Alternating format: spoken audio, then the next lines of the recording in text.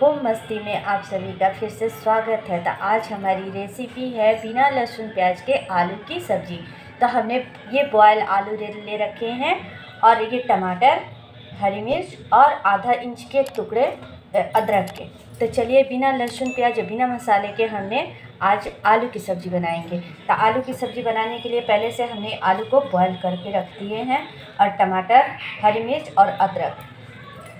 चलिए तो हमने पहले तैयार कर लेते हैं इसके मसाले। तो मसालों के लिए हमने केवल हरी मिर्च और अदरक। इसको क्या करनी है कि हमको अदरक और लहसुन को अदरक और हरी मिर्च को एक बार पीस लेंगे। इसको बारीक पेस्ट के समान हम पीस लेते हैं। तो चलिए पहले हम पीस लें चलिए तो पहले अदरक और हरी मिर्च का हम पेस्ट तैयार कर लेते हैं।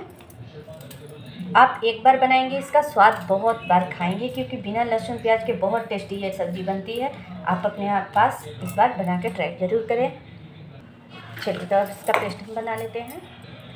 चलिए तो हमने अदरक, लहसुन को, अदरक, लहसुन, अदरक, हरी मिर्च का हमने पेस्ट तैयार कर लिए हैं।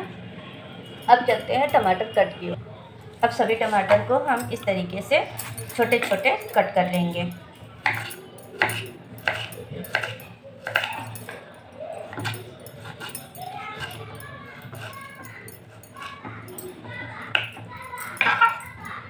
छोटे छोटे टुकड़ों में पीस करके कट कर लेंगे।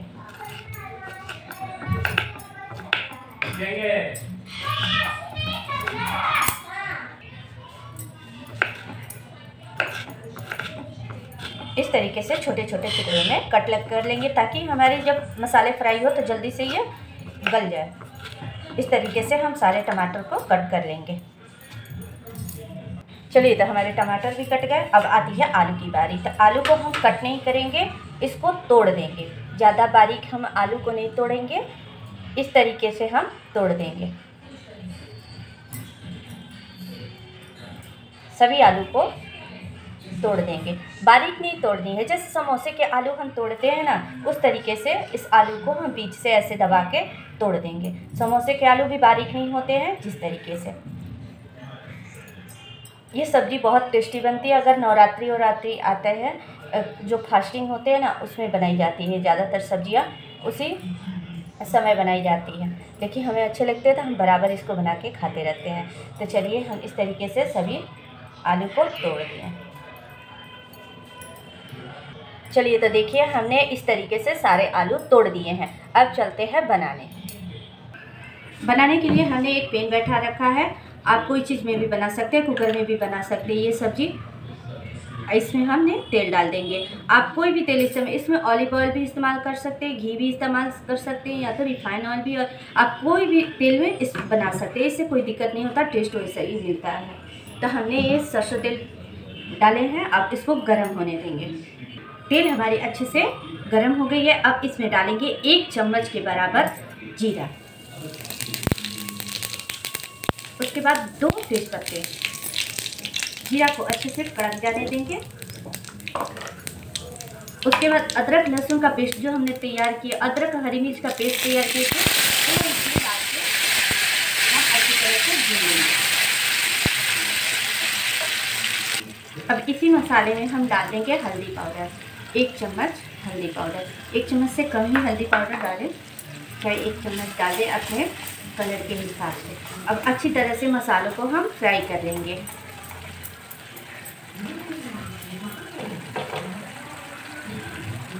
चलिए तो मसाले हमारे आगे फ्राई हो गए हैं। इसमें डालते हैं कटी हुई टमाटर। टमाटर के साथ ही डालेंगे स्वाद अनुसार नमक। अच्छा भी चीज़ों को हम अच्छे से फ्राई कर लेंगे। टमाटर अच्छी तरह से गल जाए, ग्रेवी जैसा हो जाए, तभी तक भूनेंगे इसको, मसाले को, ताकि हमारी ग्रेवी गाढ़ी हो। अब इसको कवर कर करके हम मसाले को भून लेंगे। चलिए तो देखी जाए हमारे मसाले कैसे हो गए तो देखिए हमारे मसाले अच्छे से ये फ्राई हो गए, हमने ढक तक के फ्राई कर लिए हैं। तो टमाटर भी अच्छी तरह से गल गई है और मसाले भी अच्छे से फ्राई हो गए। अब इन मसालों में हम डाल देंगे ये टूटे, तोड़े हुए आलू, जो हमने तोड़ के रखे थे। ये आलू को डाल देंगे। ये आलू फ्राई नहीं करनी है, ऐसे ही डाल देनी है।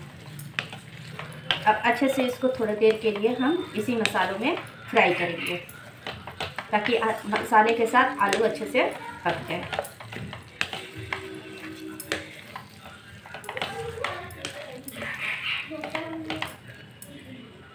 चलिए तो आलू भी मसालों के साथ अच्छे से फ्राई हो गई है। अब इसमें डाल देंगे अपनी ग्रेवी के अनुसार पानी। अपने अनुसार पानी डालें।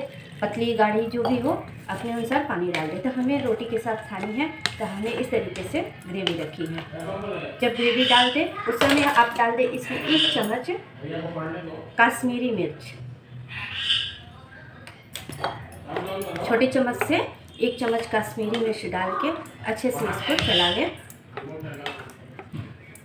अब इसको अच्छी तरह से ढक के अब पकने देंगे। हम 10 से 12 मिनट के लिए अच्छे से इसको ढक के पकने देंगे। चलिए तो सब्ज़ी को देख लीजिए देखिए तो हमारी सब्ज़ी की कलर कितनी खूबसूरत आई है। इसी तरीके से आप कभी भी, अब हमने शिमला मिर्च इसलिए कश्मीरी मिर्च इसलिए डाले हैं ताकि सब्ज़ी में कलर थोड़ी अच्छी सी आए। वो उसमें कोई फ्लेवर नहीं होते और ना कोई तीखापन होता है। वो कलर के लिए डाली जाती है। इसी चलते हमने इसमें काश्मीरी मिर्च डाले हैं। तो चलिए हमारी सब्ज़ी बन रेडी हो गई है। अब गैस को बंद करते हैं।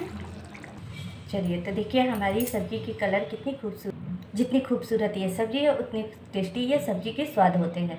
तो चलिए, हरे धनिया के साथ हम इसको गार्निश कर देते हैं। आपके पास हरी धनिया ना हो तो कोई बात नहीं, आपका सूरी मेथी को हल्का हल्का सा छिड़क दें। तो चलिए, उम्मीद करते हैं हमारी ये रेसिपी आपको आलू की बिना मसालों वाली सब्ज़ी आपको अच्छी लगी होगी तो फिर मिलेंगे एक मज़ेदार रेसिपी के साथ और टेस्टी रेसिपी के साथ।